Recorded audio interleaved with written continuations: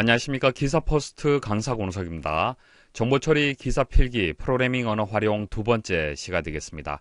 어, C언어 관련해서 좀 살펴보고 있죠. 자 이전 시간에 C언어에 대한 기본적인 개념을 간단한 예, 예시를 가지고 설명을 드렸고요. 지금부터는 이제 문법적인 부분들 설명을 드리도록 하겠습니다.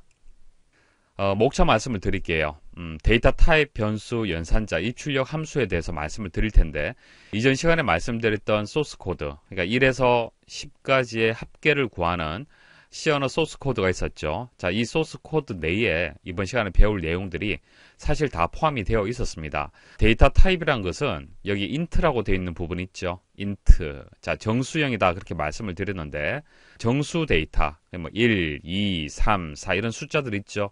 자, 이런 숫자들을 저장하기 위한 형식이 int가 된다 그렇게 말씀을 드렸습니다. 이게 데이터 타입이 되는 거예요. 정수 외에도 뭐 실수도 있고 뭐 문자형도 있고 여러 가지가 있습니다. 아, 자세히 설명을 드리도록 하고요.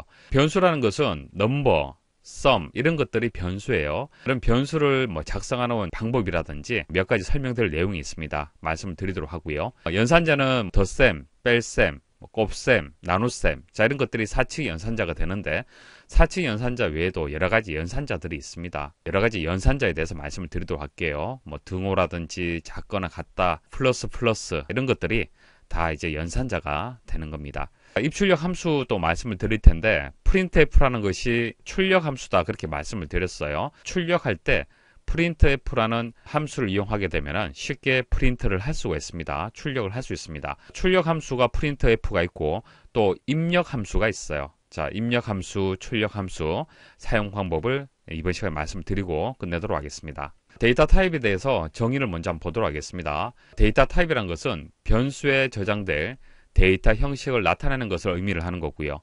변수의 값을 저장하기 전에 문자형, 정수형, 실수형 등 어떤 형식의 값을 저장할지 데이터 타입을 지정하여 변수를 선언해야 된다. 어, 우리가 변수라는 것을 필요로 합니다. 우리가 데이터를 처리를 하려면 데이터를 저장할 공간이 필요한데 그게 이제 변수가 되는 거예요. 변수는 값이 계속 바뀌는 겁니다. 변할 수 있는 값을 저장할 수 있는 공간이 이제 변수가 되는데요. 근데 그 변수가 용도가 다 다르다는 얘기입니다. 어, 우리가 물을 마실 때 사용하는 물컵도 있을 거고요. 또 술잔도 있겠죠. 잔의 종류가 여러 개 있듯이 어, 데이터 타입도 여러 가지가 있다는 얘기입니다. 그래서 변수 이름 앞에다가 데이터 타입을 정의를 해주시면 되는 겁니다. 그래서 여기서 int라고 되어 있는데 int는 이제 정수 타입이 되는 거고요. 어, 변수의 정의를 보시면은 컴퓨터가 어, 명령을 처리하는 도중 발생하는 값을 저장하기 위한 공간이다. 자, 변할 수 있는 값을 우리는 변수다. 그렇게 얘기를 하죠. 어, 자, 간단하게 int에 대해서는 말씀을 드렸는데 int 외에도 여러 가지가 있습니다. 한번 정리를 하도록 하겠습니다. 어, C하고 C++, 뭐 자바, 파이썬 어, 각각의 프로그래밍 언어 관련해서는 다음에 설명드리도록 하고 자 이런 것들이 있구나라는 정도만 생각하시면 됩니다. 자 C하고 C++은 거의 비슷합니다. 그리고 자바하고 파이썬 어, 데이터 유형, 데이터 타입의 유형이 비슷한데 어, 조금 다른 부분도 있고요. 한번 설명 한번 드려보도록 하겠습니다. 어, int는 이제 정수형이 되는 겁니다. 근데 int만 있는 것이 아니라 short도 있고요. 그 다음 long, 자 long long도 있습니다. 차이점은 크기가 다르다는 얘기예요. int는 4바이트입니다. 4바이트, 4바이트 크기가 되는 거고요. 비트로 표현하자면 곱하기 8을 해주시면 되겠죠. 48이 32비트가 되는 거예요. 자, 32비트의 크기가 int가 되는 겁니다. 그러니까 int보다 아, 이제 크기가 작은 데이터 타입이 있는데 예, short가 되는 거예요. 2바이트가 되겠습니다. 그래서 int를 기준해서 어, 이제 작은 자료형이 어떤 것이 있는지 큰 자료형이 어떤 것이 있는지 그런 식으로 어, 구분을 하시면 되고 자 시험에는 정수형이 아닌 것은 이렇게 시험이 나옵니다. 자, 뭐 1번 short, 2번 int, 3번 long 주고 4번에는 float 이렇게 줄 수가 있겠죠. 그래서 정수형이 어, 정수형의 데이터 타입이 어떤 것들이 있는지, 그 다음 크기도 같이 기억을 하셔야 되고요. 자, 그런 식으로 구분을 하실 수 있어야 됩니다. 자, 암기를 좀 하셔야겠죠. 자, 이런 것들은 암기를 할 수밖에 없어요. 자, 그리고 int하고 long형이 있는데 사이즈가 동일하죠. 자, 동일한데 자, 조금 다릅니다. 자, int의 이제 의미가 조금 달라요. 자, int는 플랫폼에 따라서 실제 크기가 달라집니다. 플랫폼이라는 것은 어, 여러분들이 사용하고 있는 컴퓨터의 뭐 운영 체제라든지 각종 장치를 생각하시면 됩니다. 자, 그 플랫폼이 32비트가 있고 64비트가 있어요. 32비트는 한 번에 처리하는 양이 2의 32승계의 정보를 한 번에 처리할 수 있는 어, 그런 이제 운영체제가 되는 거고요. 64비트는 2의 64승개의 정보를 한 번에 처리합니다. 어, 당연히 64비트가 더 빠르겠죠. 음, 자 그런 식으로 운영체제, 뭐 플랫폼이라든지 어, 이제 그 크기가 다른 경우가 있는데 그 크기에 따라서 달라지는 거예요. int 사이즈는. 예, 그래서 32비트 어, 운영체제라면은 4바이트가 되는 거고요. 64비트 운영체제 같은 경우에는 8바이트가 되는 겁니다. 그래서 크기가 달라진다는 얘기예요.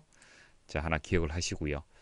자, 이런 정수형이 있고요. 자, 부호 없는 정수형. 자, 정수형 중에서도 음수가 있고 양수가 있잖아요. 그죠? 자, 그, 거기서 이제 뭐 부호 없는 정수형이라는 것이 있습니다. 그래서 이런 것들이 있다라는 정도 아시면 되고. 자, 실수형은 뭐 1.2, 뭐 4.8 이런 숫자들 있죠. 소수점 아래에 값이 있는 숫자가 실수형이 되는 거예요. 자, 그때의 사이즈 어, 기억을 하셔야 되겠습니다. 자, float형은 이제 4바이트가 되고 double, double은 당연히 두 배가 되겠죠. long double도 8바이트가 되고요. 어, 그 다음 문자형. 자, 문자형은 캐릭터가 됩니다. char. 자, 캐릭터가 되고 1바이트가 되겠습니다. 아, 자, 우리가 1바이트라고 얘기를 했을 때 어, 데이터를 저장을 한다, 문자를 저장한다라면은 영문자 한 자를 저장할 수 있는 크기가 1바이트가 되는 거예요. 어, 영문자 A가 있다. 그럼 A를 저장을 하려면은 저장할 수 있는 공간이 있어야겠죠. 자, 그게 1바이트는 있어야만 아, 영문자 하나를 저장할 수가 있습니다. 그래서 문자형 캐릭터 같은 경우에는 사이즈가 이제 1바이트가 되는 거예요. 자, 그리고 부호 없는 문자형이라는 것도 있습니다. 이것도 1바이트가 되는 거고요. 자, 지금 설명드린 이제 아, 데이터 타입의 유형들은 아, C나 이제 C 뿔뿔을 말씀을 드린 겁니다. 자, C하고 C 뿔뿔이 되는 거고요. 어, 다른 이제 프로그래밍 언어하고도 거의 비슷합니다. 자, 비슷한데 일부분 약간씩 다른 부분들이 있어요. 자, 그런 부분들만 좀 체크를 해 두시면 될 것 같아요. 자, 잡 한번 설명 한번 드려보도록 하겠습니다. 자, 정수형. 자, 정수형에서 바이트형이 있어요. C나 C 뿔뿔에는 바이트가 없잖아요. 그죠? 근데 어, 자바에서는 바이트가 있습니다. 자, 바이트는 말 그대로 1바이트의 크기를 가지고 있고요. 나머지는 비슷하죠.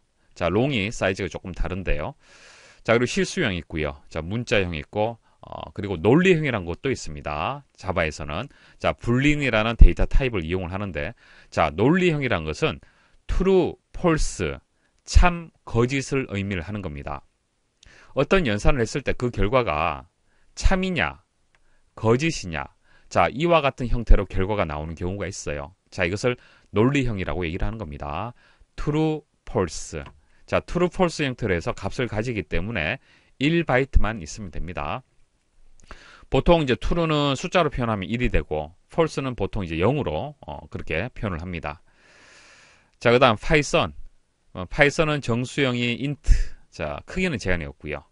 실수형 어, float 형이 있고요. 8바이트가 되고 자, 그 다음 complex라는 이제 데이터 타입이 있습니다. 이거는 16바이트가 됩니다. 자, complex는 복소수를 의미를 합니다. 복소수란 것은 실수와 허수의 합으로 이루어진 숫자를 이제 의미를 하는 거고요. 자, 문자형. 자, 문자형의 크기는 제한이 없습니다. 아, 여기서 이제 종류, 어, 그리고 데이터 타입의 이름, 크기, 아, 암기를 좀 하셔야 돼요. 일단 C와 C 기준에서 암기를 하시고, 자, 조금씩 다른 부분들 있잖아요. 그죠? 자, 그렇게 구분해서 암기를 좀 하셔야겠습니다. 변수에 대해서 설명을 좀 드리겠습니다. 자, 변수가 무엇인지는 이해를 하실 거고요. 어, 시험에는 변수명을 작성하는 규칙이 어, 자주 출제가 되고 있습니다. 반드시 기억을 하셔야 돼요. 어, 우리가 사람 이름을 작성을 할 때도 규칙이 있죠. 어, 일반적인 규칙이 성, 어, 성이 이제 앞에 어, 오고요. 그 다음 이름이 보통 뒤에 두 자로 해서 이렇게 작성을 합니다.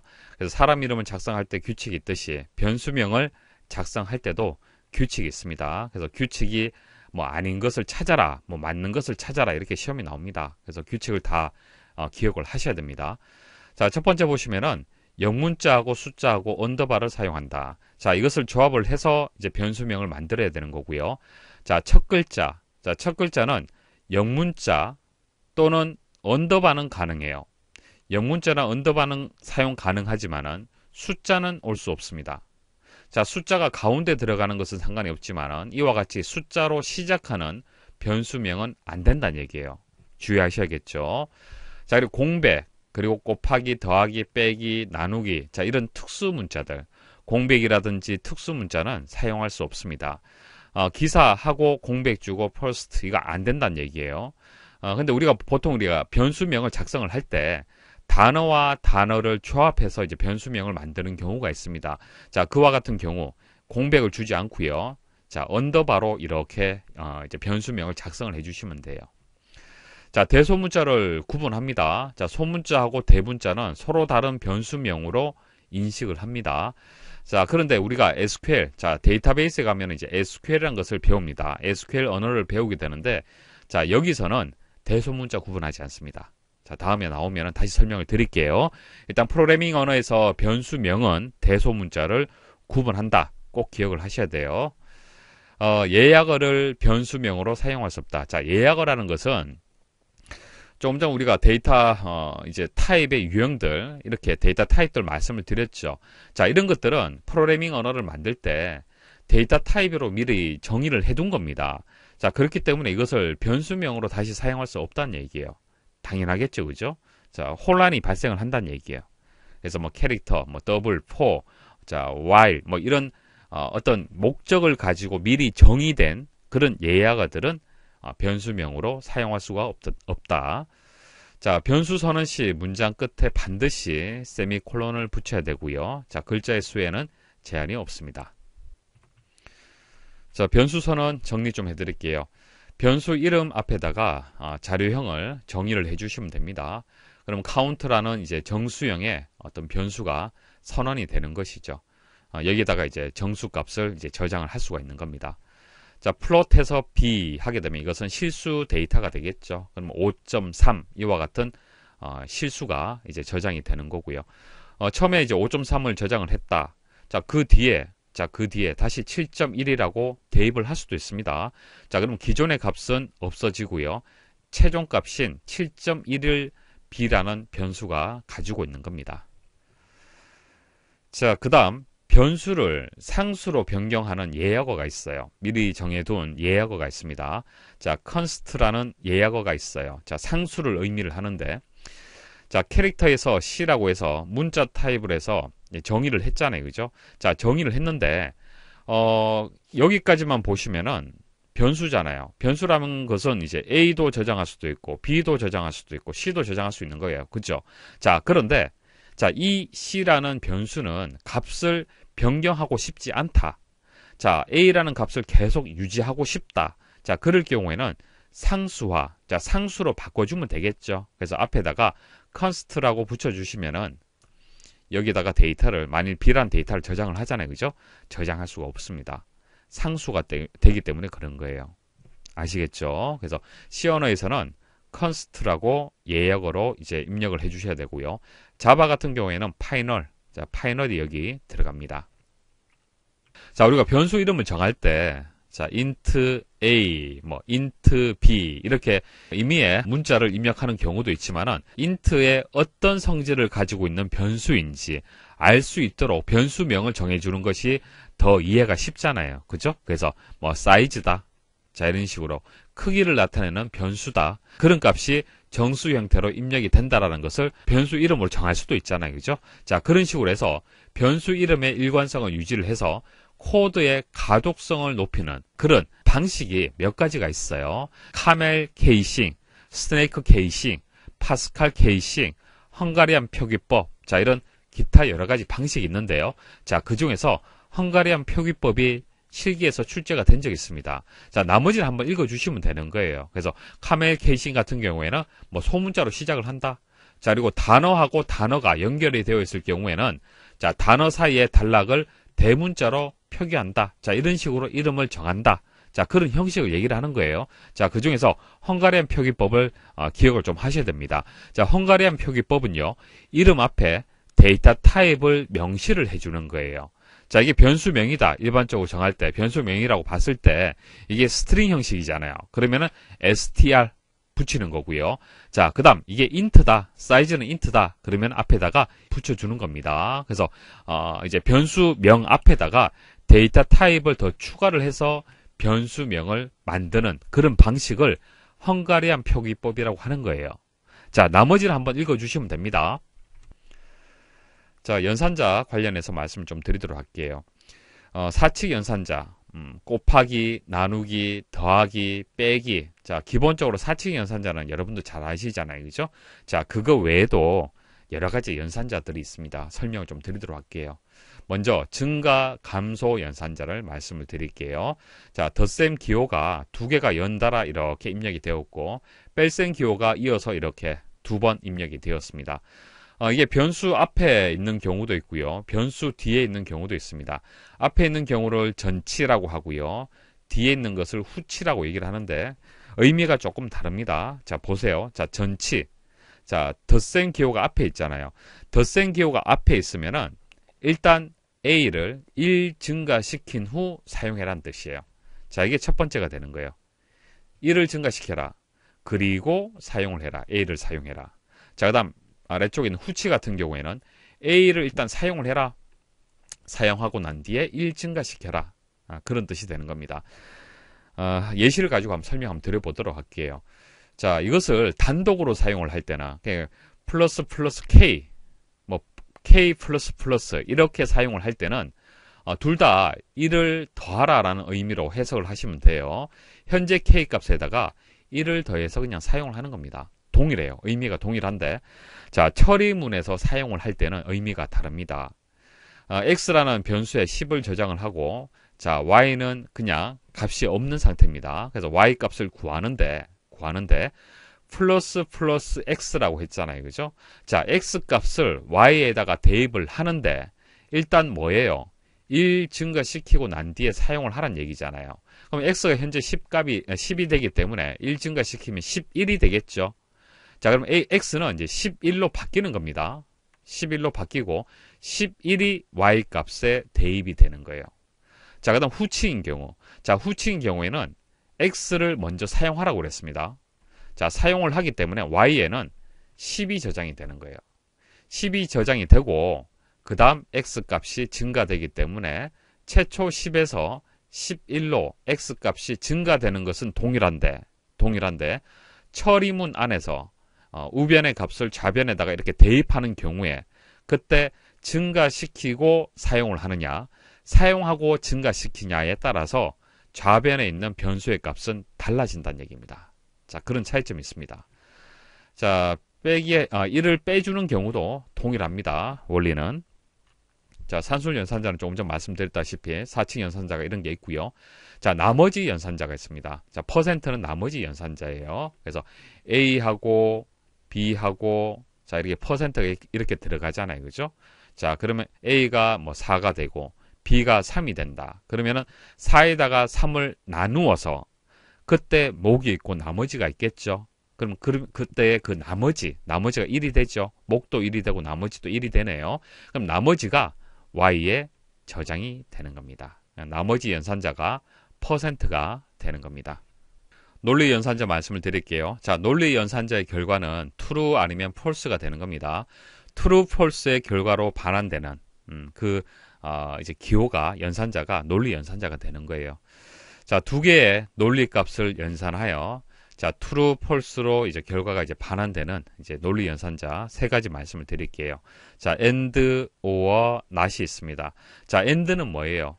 A라는 조건이 있고 B라는 조건을 and로 연결하게 되면은 A 조건, B 조건이 모두 true인 경우에 결과가 true가 되는 거예요.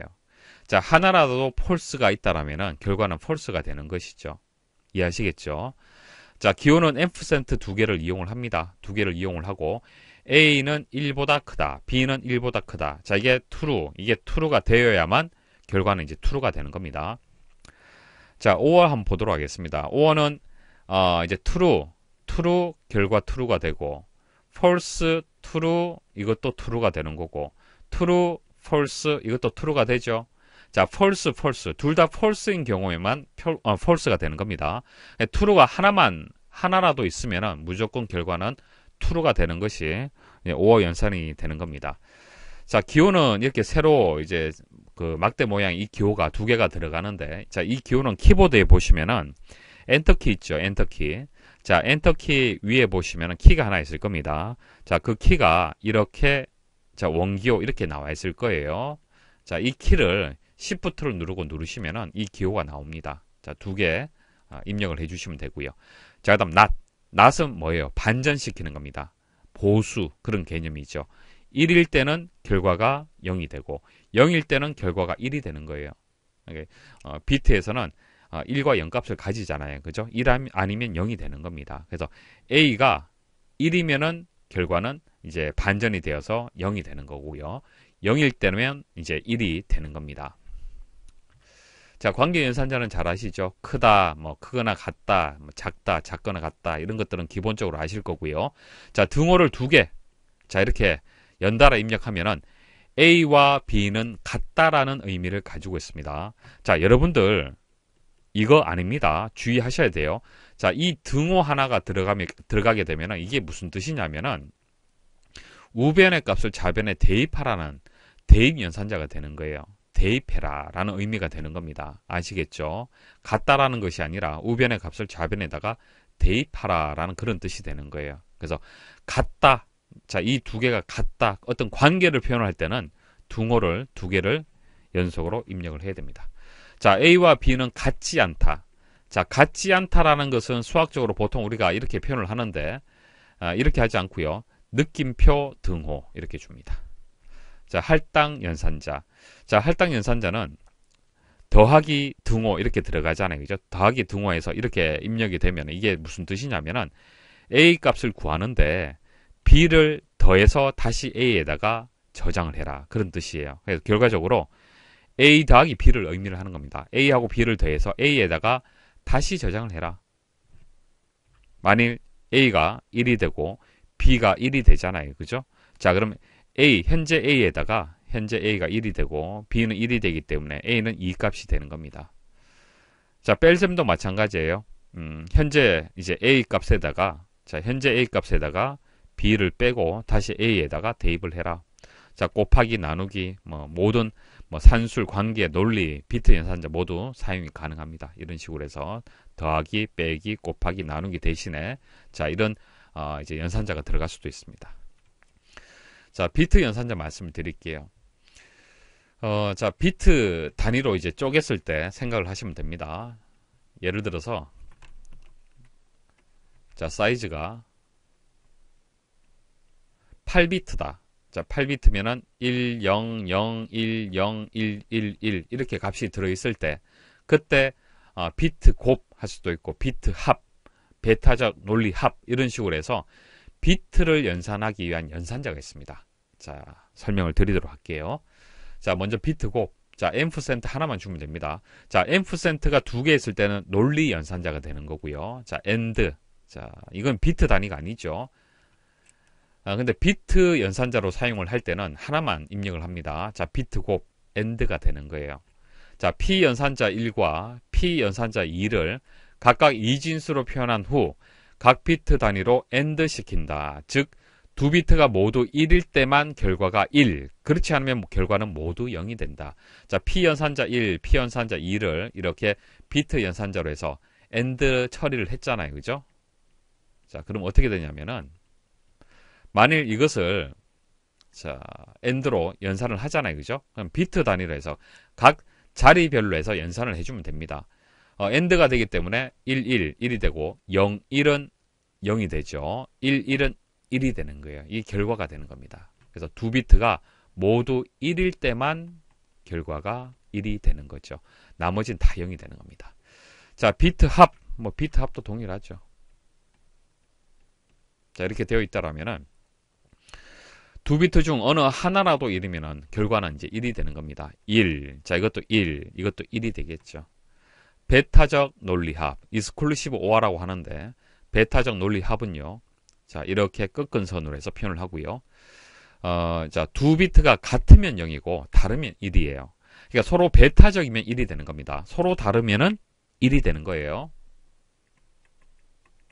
자, 한번 보도록 하죠. 자, 같잖아요. 그죠? 같으면 0이에요. 다르잖아요. 베타적이면 1. 같으면 0이 되는 겁니다. 0, 1, 0이 되는 겁니다. 결과가. 비트 부정. 자, 반전시키는 겁니다. 1의 아, 보수의 개념이 되는 거죠. 그래서 1이면 0이 되고 0이면 1이 되는 겁니다. 자, 그 다음 시프트 말씀을 드릴게요. P연, P연산자 1, P연산자 2가 있고, 자, 이렇게 되어 있죠. 어, 이게 왼쪽 시프트를 의미를 하는 겁니다. P연산자 1을, 자, P연산자 1을 왼쪽으로 시프트를 하는데, 이진수로 표현한 후, 자, 연산자, P연산자 1을 이진수로 표현하고요. P연산자 2만큼 왼쪽으로 이동시킨 값이다. 자, 예를 들어 설명을 드릴게요. 자, 보세요. 자, A라는 정수형의 변수 있고 B도 정수형입니다. 자, 3 저장돼 있고 6이 저장이 되어 있어요. 자, 이건 10진수가 되겠죠. 자, 우리는 비트 연산자를 지금 배우고 있기 때문에 비트로 표현을 해줘야 됩니다. 만일 운영체제가 32비트 운영체제가 된다. 자, 그럼 int는 4바이트가 되겠죠. C와 C++에서 말씀을 드렸죠. 자, 보세요. int가 32비트 운영체제에서는 4바이트가 된다. 그렇게 말씀을 드렸죠. 그래서 4, 8이 32. 자, 32비트가 되는 거예요. 그럼 32비트의 공간을 그려야 됩니다. 그리고요. 자, 이것을 쪼개서 32개로 나눠줘야 되는 거예요. 쭉 32개라고 가정을 하겠습니다. 자, 32개로 나누었습니다. 자, 32개의 비트로 이렇게 나누었고요. 자, 그럼 3을 이진수로 표현을 해야 되잖아요. 그죠? 자, 진법 변환 같은 경우에는 네이버에서 검색하시면 변환 방법이 자세히 나와 있습니다. 설명은 이제 생략하도록 하고, 자, 10진수 3을 그 이진수로 변환할 때는 2로 나눠주시면 됩니다. 2, 1은 2. 자, 목과 나머지가 나오겠죠? 목은 1, 나머지는 1. 자, 이게 목이 되고 이게 나머지가 되는 거예요. 자, 목은 0이 되고 나머지가 1이 되겠죠? 자, 이것을 역순으로 생각하시면 됩니다. 그래서 1, 1이 되는 거예요. 1, 1. 자, 3은 1, 1이 되는 겁니다. 자, 그럼 마지막에 1, 1이 들어가는 거고 나머지는 다 0을 입력을 해 주시면 돼요. 0 쭉 입력하고 자, 첫 번째 비트 있죠. 자, 첫 번째 비트는 부호 비트라고 합니다. 부호 비트. 음수가 있고 양수가 있잖아요. 그죠? 아, 이것은 양수가 되기 때문에 양수인 경우에는 0을 입력을 해주면 돼요. 됐죠? 자, 이게 32비트 운영체제 기준으로 해서 4바이트 크기로 해서 자 int로 해서 어 이제 3이라는 이제 숫자를 그 어, 비트로 이제 표현을 한 겁니다. 자 이렇게 표현을 할 수가 있고요. 자 일단 피연산자 1을 일단 이렇게 표현을 해야겠죠. 자 A를 한 개의 비트를 왼쪽 시프트를 해라 라고 했을 때 일단 3을 이진수로 이렇게 표현을 했습니다. 자 표현을 하게 되면 0 해서 0000 해서 마지막에 11, 자, 3이 이렇게 표현이 될 거고요. 자, 왼쪽으로 한 개의 비트를 시프트를 하라고 했기 때문에 이동을 해주면 됩니다. 이동, 이동. 그러면은 1, 1이 되겠죠. 자, 0도 다 이동을 하는 거예요. 0, 0, 0, 0 해서 전부 0이 들어가겠죠. 자, 그리고 마지막에 있는 이 비트는 왼쪽으로 시프트를 했기 때문에 값이 비, 지금 비워져 있죠. 어, 여기 있는 값에서 이제 오른쪽에 있는 값이 없잖아요. 그죠? 마지막 데이터가 되기 때문에 여기는 비워집니다. 자, 이 비워진 비트를 패딩 비트라고 해서 0으로 채워주시면 돼요. 그래서 결과가 0000 해서 110이 되는 겁니다. 자, 0은 패딩 비트라고 얘기를 하는 거예요. 자, 시프트 후 생기는 빈자리에 채우는 비트. 그것을 패딩 비트라고 얘기를 하고 보통 0으로 채우게 됩니다. 자, 그래서 A를 왼쪽으로 한 개의 비트를 시프트를 해라 라고 했을 때, 자, 이런 결과가 만들어지는 거고요. 어, 하나, 한 번 더 해보겠습니다. B 한 번 해보도록 하죠. 자, 6. 자, 6을 2로 나눴습니다. 2, 3은 6, 목은 3이 되고, 나머지는 0이 되죠. 2, 1은 2. 자, 0, 1이 됩니다. 자, 역순으로 하게 되면은 1, 1, 0이 되는 거예요. 자, 부호 비트는 0이 되고 나머지는 다 0이 여기 들어갔다라고 보시면 됩니다. 자, 이것을 오른쪽으로 한 개의 비트를 시프트를 했네요. 오른쪽으로 하나의 비트를 시프트를 합니다. 그럼 이렇게 시프트. 자, 이렇게 시프트. 시프트. 다 시프트가 이루어지는 거예요. 그러면 이제 부호 비트 앞에 있는 이 0, 0이 예, 이제 오른쪽으로 시프트가 되었겠죠. 그럼 비워져 있겠죠. 자, 여기다가 0을 입력을 해주는 겁니다. 패딩 비트가 되는 거예요. 자, 그럼 1. 자, 이게 또 이동이 되면 1, 0, 0 이런 식으로 1값을 기준해서 자세히 보시면 이해가 쉬울 겁니다. 자, 1값이 이렇게 이동이 되었죠. 이렇게 이동이 되었습니다. 그래서 결과가 0, 0 해서 쭉 해서 마지막에 1, 1이라고 이렇게 시프트가 되는 겁니다. 그래서 왼쪽 시프트, 오른쪽 시프트 어떻게 하는지 설명을 드렸습니다. 조건 연산자 말씀을 드릴게요. 어, 조건이 참일 때 어, 수식 1을 실행을 하고 거짓일 때는 수식 2를 실행하고 싶다. 자, 조건이 있으면은 자, true냐, false냐에 따라서 다르게 수식을 실행하고 싶다. 자, 그때 사용하는 이제 연산자가 조건 연산자가 아, 되겠습니다. 뭐 사망 연산자, 항이 색이라고 해서 사망 연산자다 그렇게 부르는 경우도 있고요. 자, 조건에 따라서 다른 수식을 실행을 한다. 그래서 그때 조건 입력하고 자, 물음표, 그 다음 수식 1, 콜론, 수식 2, 세미콜론 이렇게 아, 마무리를 하시면 되겠습니다. 자, 예를 들어서 3하고 2하고 같다. 자, 등호가 두 개 들어가면 뭐죠? 연산자 중에서 관계 연산자가 되는 겁니다. 자, 3하고 2하고 같다. 자, 같다라는 조건은 뭐예요? true입니까? false입니까? false가 되는 거죠. false가 되면은 A가 실행되는 것이 아니라 자, B가 실행이 되는 거예요. 어, cast 연산자. 자, cast 연산자는 형을 변환시키는 연산자가 되겠습니다.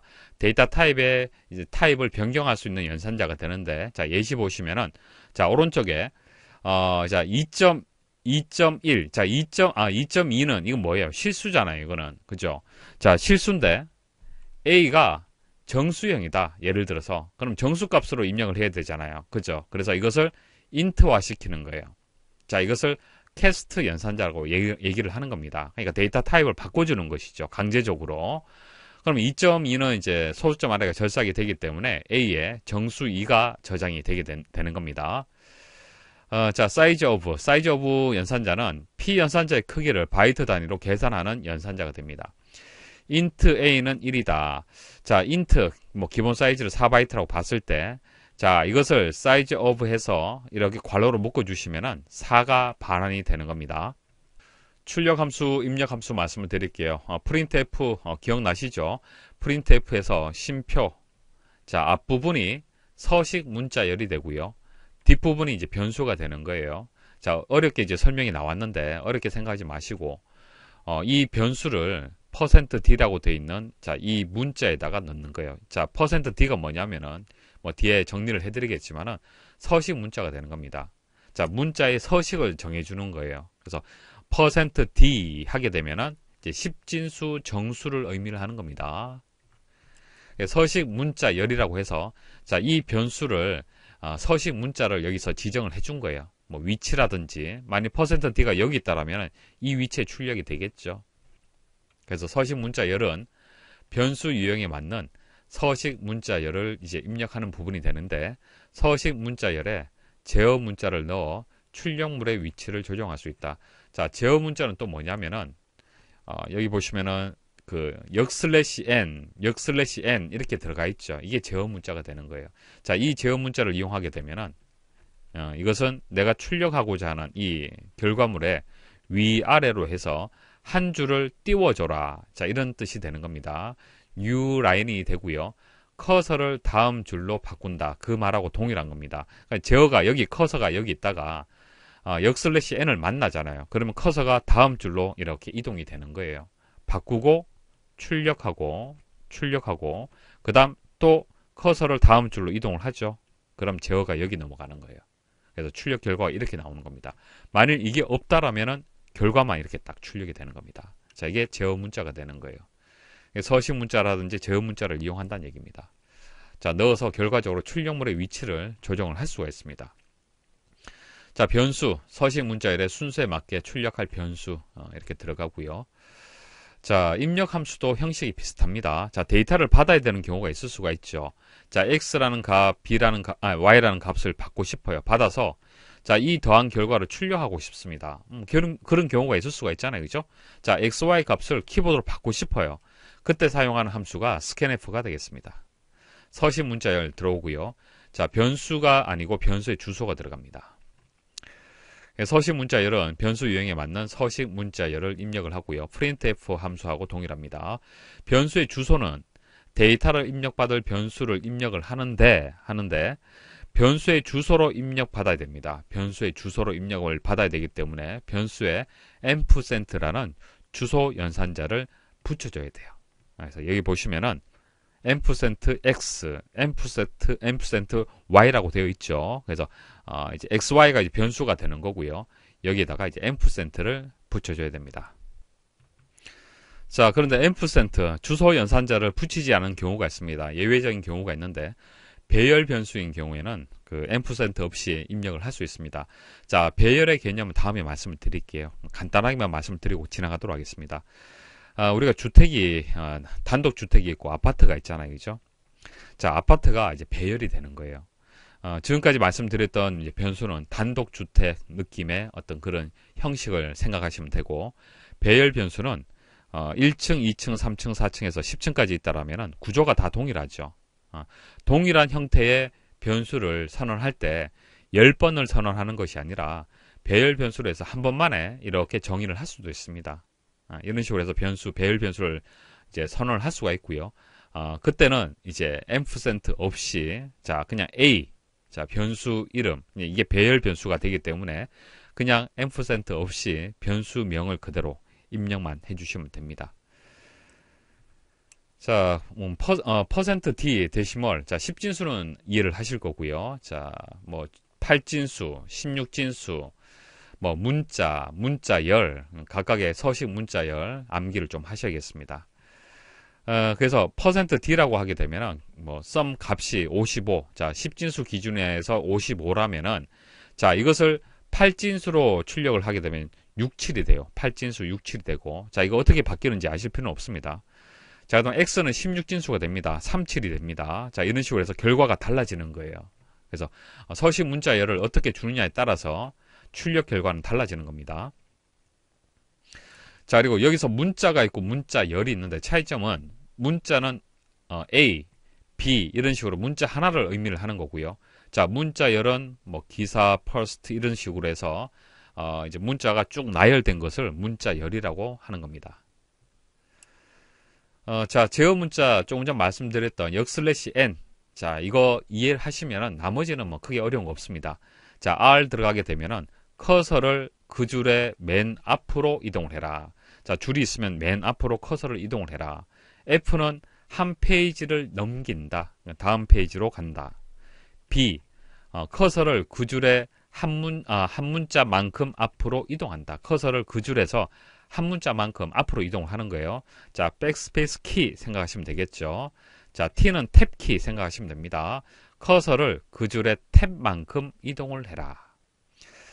자, 여기까지 해서 이번 시간은 마치도록 하겠습니다. 수고하셨습니다.